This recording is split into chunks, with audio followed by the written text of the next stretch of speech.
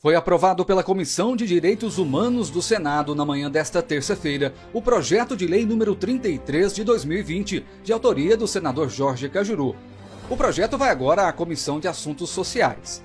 Esse projeto obriga as empresas a proporcionar condições equitativas de desenvolvimento profissional, promoção e remuneração aos seus empregados com e sem deficiência, sob pena de pagamento da diferença salarial acrescida de indenização ao trabalhador discriminado e multa, bem como determina a União que publique periodicamente lista das empresas que cumprem e das que descumprem a referida obrigação.